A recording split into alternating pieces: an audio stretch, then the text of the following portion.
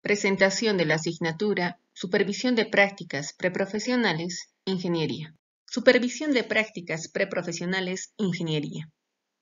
En la actualidad, en las diferentes empresas, es necesario y fundamental que el colaborador muestre un óptimo rendimiento laboral, debido a que las empresas exigen profesionales que sean cada vez más eficientes y competitivos en desarrollar los diferentes procesos necesarios para alcanzar los objetivos de la empresa.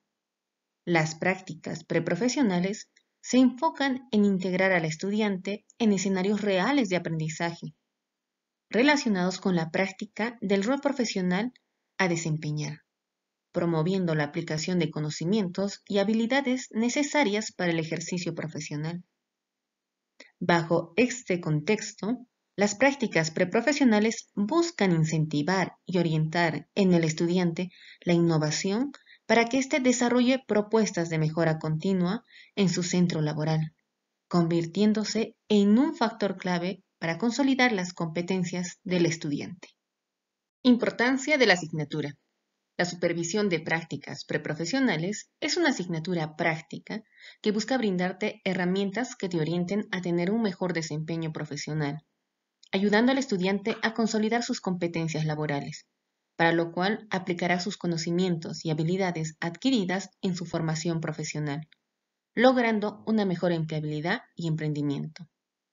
Además, esta asignatura permitirá desarrollar las competencias del estudiante para el trabajo en equipo, liderazgo, capacidad en emprendimiento y flexibilidad que le permite adaptarse a las diferentes entidades públicas y privadas en una primera experiencia laboral. Impacto del COVID-19 en el mercado laboral peruano.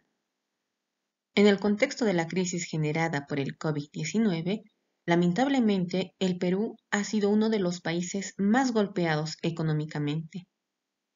El impacto en el empleo ha sido notorio y devastador, principalmente durante el segundo trimestre del año 2020, en el que la mayoría de actividades económicas se restringieron, perdiéndose aproximadamente 6 millones de empleos, según informó el Instituto Nacional de Estadística e Informática, INEI.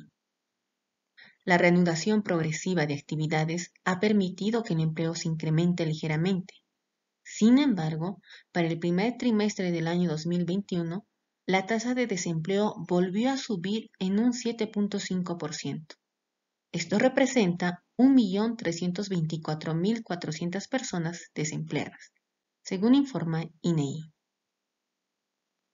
Según tu experiencia, ¿Cuál fue el impacto del COVID-19 en el mercado laboral del sector empresarial en el cual te desarrollas?